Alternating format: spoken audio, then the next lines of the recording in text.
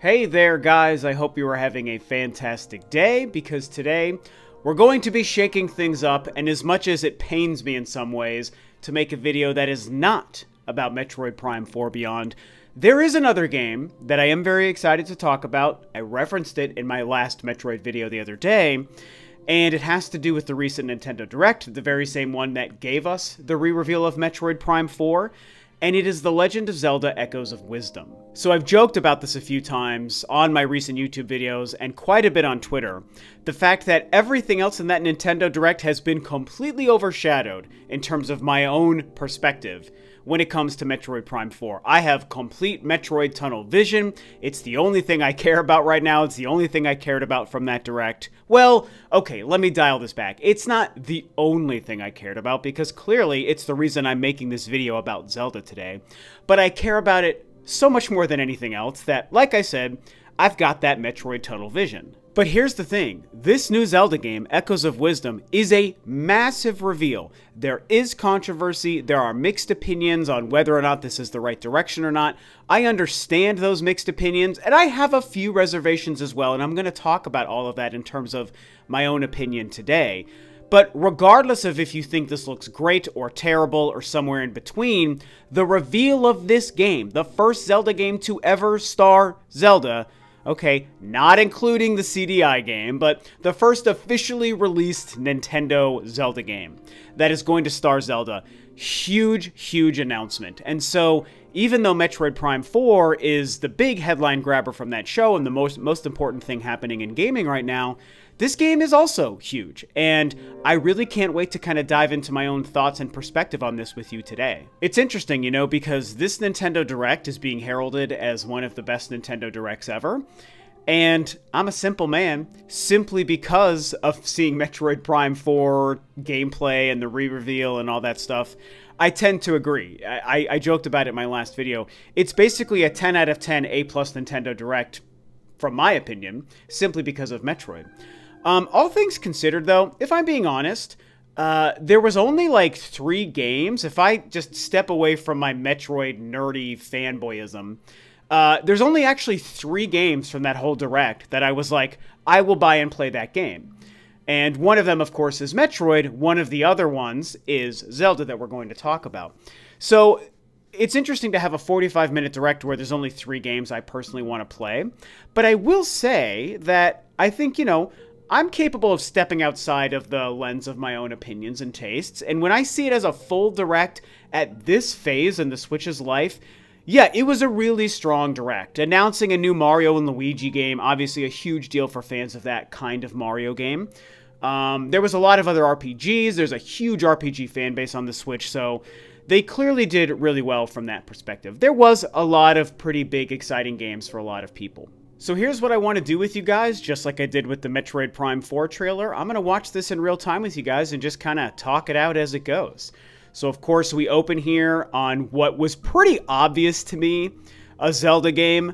Uh, and then of course we see Zelda's trapped, Link throws off his hood, and we're like, okay, is this another like it's not a Link's Awakening sequel. We kind of know the timeline. Is this is this a different remake? I'm not familiar with the Oracle games, so they're actually the only two Zelda games I'm not familiar with. So I was like, is this the remake of those games that we've been waiting for?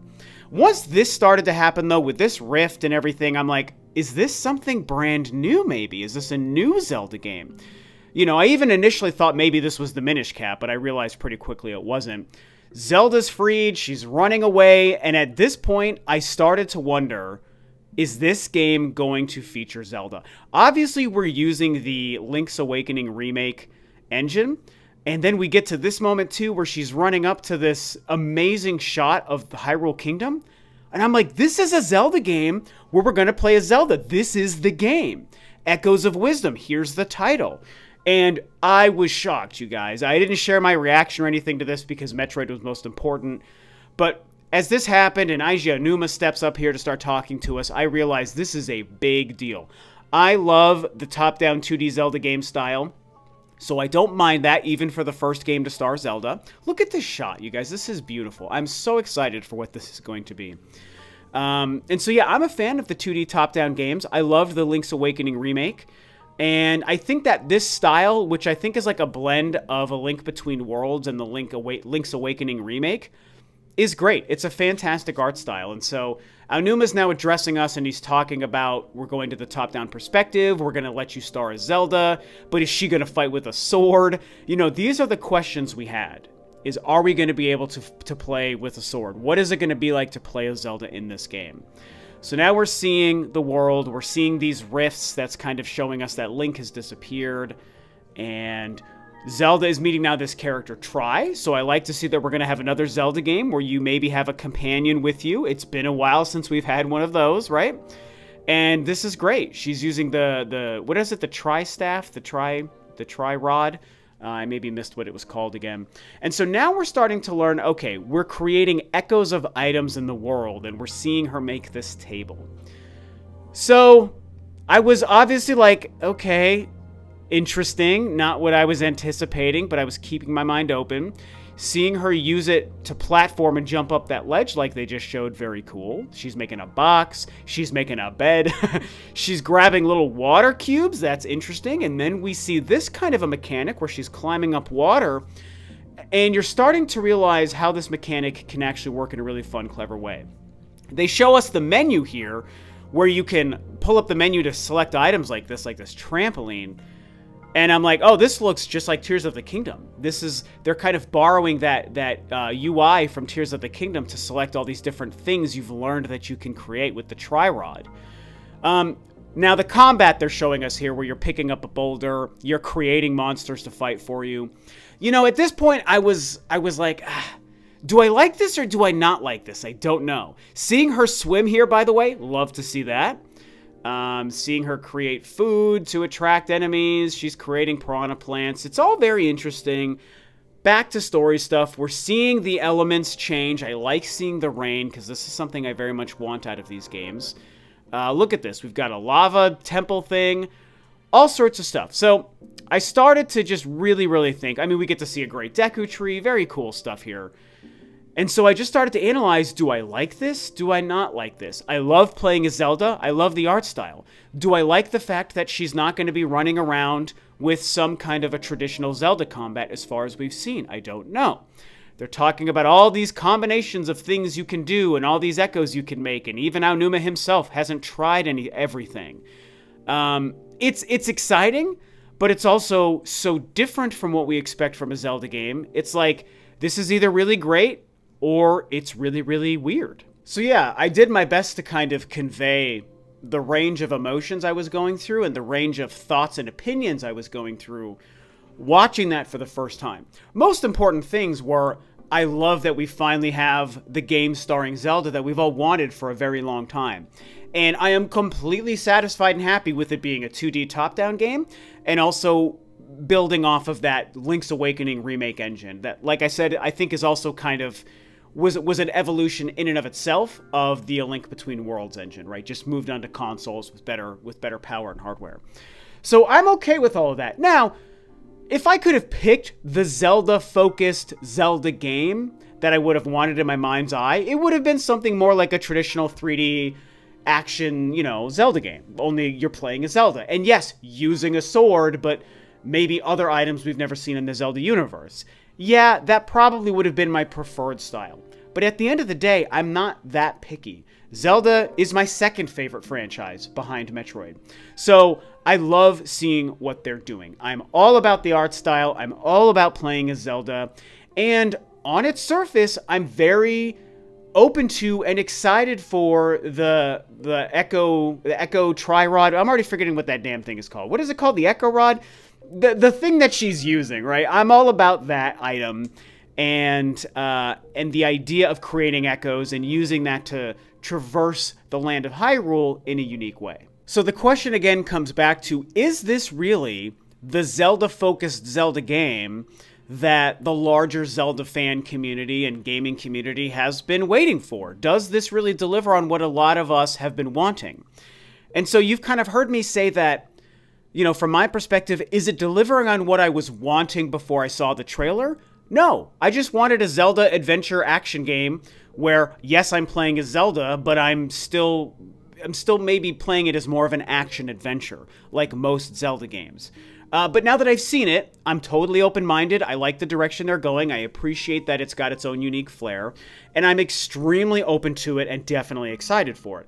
But when I talk about the larger, you know, community or larger Zelda fan base, I think that it's fair to say, um, and I don't want to. You know, I don't want to speak for anyone. Obviously, I've seen the range of opinions out there and a lot of people who are maybe not thrilled with it and it's not what they wanted. And so I think from that perspective, you could say that maybe no, this isn't exactly what people have been wanting. And I'm not making a claim on whether it's correct or incorrect for people to feel that way. That's not what I'm saying. You've heard me say I'm excited for it. But I, I can understand that, you know, they, they, they've taken some big swings here. They're changing it in a way that no one expected. And someone could maybe even feel cheated that the first time we get to play a Zelda, she doesn't even get to be a kick ass warrior running around with a sword and bombs well, I guess she's probably going to use bombs in this game, but you know what I mean. She's not going to be running around with the sword and shield just kicking ass and taking names like Link does. It's like, why can't Zelda be an awesome warrior as well? And so I understand maybe it, the, some of the complaints from that perspective.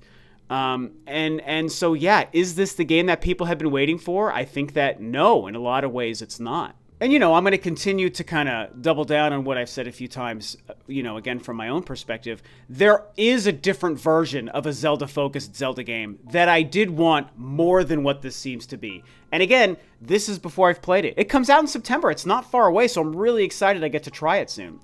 Typically, a game using these kinds of mechanics would not be exciting to me. Uh, Princess Peach Showtime is a good example where they they took something from a well-established Nintendo universe, the Mario universe. We're playing as a different character than Mario or Luigi, and the gameplay is extremely unique.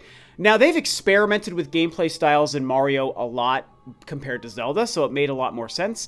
And that is a game where I saw what it was doing and all the different gameplay genres and minigame stuff, and I was like, you know, I like Peach, but this isn't for me. So I have not played it. It just didn't appeal to me. This game, in a lot of ways, falls into that same category, but I'm still excited to play it for two different reasons when I compare it to Princess Peach Showtime. One is the fact that, at the end of the day, it's Zelda, and so simply because it's Zelda, I'm not going to say no. Because I love Mario as well, but I, am a bigger Zelda fan than even a Mario fan. The other reason is, unlike Princess Peach Showtime, Echoes of Wisdom chose its one quirky, weird gameplay spin, and it seems to be focused on just that one thing. Princess Peach Showtime is doing a lot of different things. And for some for some people that might be great. There's no doubt that having a variety of gameplay styles is a good thing for a lot of people. I personally don't want a game that's doing a lot of different things very small. I want it to do one thing very big. And so I see from this trailer that Echoes of Wisdom is doing its one thing very big as opposed to many things in very small sections like Princess Peach Showtime. And so ultimately, I'm making this video to say that I find myself in a strange position when I analyze maybe how the gaming community is reacting to this game because I'm excited for it. I'm open minded. I think it's going to impress me. Nintendo and Aonuma, they don't really mess up Zelda games. In my opinion, I know a lot of people don't like Tears of the Kingdom, whatever. I freaking love that game. That game is a masterpiece to me. So I don't think that they would have dedicated years of time and development to the first ever Zelda starring game and then make it just not good. Part of me actually respects and appreciates the fact that, oh, okay, so if we're going to change protagonists for the first time ever, there actually is something cool to be said for changing the gameplay style as well. Otherwise, it's just a Zelda clone with a different skin.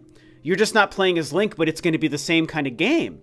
And I appreciate the fact that in order to make it feel different that we're playing as Zelda, the game is going to play differently. I think that that is, from a creative vision standpoint, really cool. And like I said, I respect it. It makes me excited for it.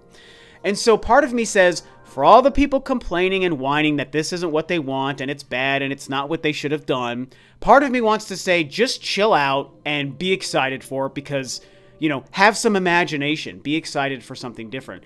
But at the same time, like I've said a few times, part of me also wanted that different version of this game. And so I understand and I want to I want to say that some people's criticisms can be valid, and that is true. Some criticisms are valid. People are allowed to have their own opinions and their own preferences and tastes. So I, I, I, I guess I feel like my, my general consensus here is if this game isn't for you, then just acknowledge it's not for you and move on. Don't whine and complain about it and say, oh, okay, they went in a direction that's not for me, I'm going to skip it. But for the rest of us, we get to be excited for this new Zelda game that actually frickin' stars Zelda. So I'll be curious to hear from you guys what your opinion is on this. This game is divisive, everything around it. So I don't know what the comments section is going to look like and people agreeing or disagreeing with me or saying they love this game or saying they hate this game and that, you know, for the second game in a row, Aonuma and Nintendo have ruined Zelda. Because some people think that the Breath of the Wild style games have ruined the Zelda franchise, which I do not agree with in any way, shape, or form.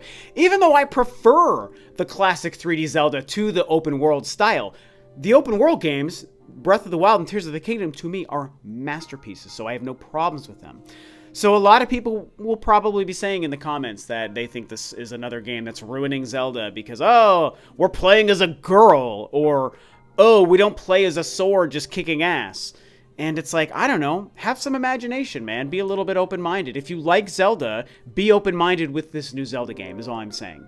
Um, or have an approach similar to what I had with games like Super Mario RPG or or Paper Mario or Princess Peach Showtime. I love the Mario Universe games. I love those characters, but I'm not a big turn-based RPG fan, and I'm not really into the minigame style of Princess Peach, so I don't think those games looked bad, but I just knew they weren't for me, so I said, okay, I'm gonna pass and just wait for the next Mario game I want to play and enjoy. Hell, I just got Super Mario Wonder. I freaking loved Mario Wonder. That is a Mario game for me. I just got a game to enjoy. The other ones can be for fans of those games. I'm not offended that Princess Peach Showtime wasn't a game for me. I just moved on and am waiting for the next one. So if you're a Zelda fan and Echoes of Wisdom isn't for you, then just pass it by. Let it go by. We just had Tears of the Kingdom. Wait for the next big Zelda game. It's okay to have some patience sometimes. So anyway, I don't mean to end this video with a lecture. I'm not trying to lecture you guys. I'm not your dad. I'm not here to tell you how to be an adult and play the video games you enjoy. It's up to you to figure that out, but that's kind of the the parting message I want to leave you guys with. I'm excited for Echoes of Wisdom. I'm excited for a 2D Zelda game, and most importantly, I'm excited to play as Zelda. Whatever that looks like, maybe we learn as we get closer to the release with new information that there is a component built into this game where we can do some traditional combat. I would like it to be something where you can, if you can make an echo of a freaking bed or a fish, why can't you make an echo of a sword and just use a sword? You know what I'm saying? Like, maybe that exists in this game and they just have chosen not to show that to us yet. So, I don't know. Time will tell. Personally, I'm excited. I know a lot of people hate it, but I can't wait. I think this game is going to be really, really good.